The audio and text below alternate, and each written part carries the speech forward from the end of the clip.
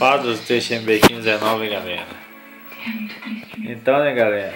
Só o desfecho aqui do vídeo aqui, ó. No mais, a pezinha lá tava com uma estopa dentro dos tubos de alimentação que sai do diesel ali, né?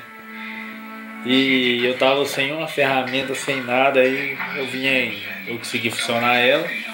E ela na alta, ela dava entrada de ar. Aí, aí ela foi, pegou e quando eu, eu consegui andar 100 km com ela assim, aí para descer eu colocava para descer.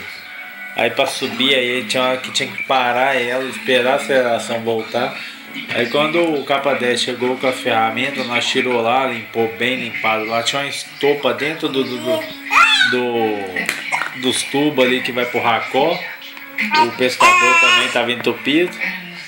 Vai ter que enfalhar, ver.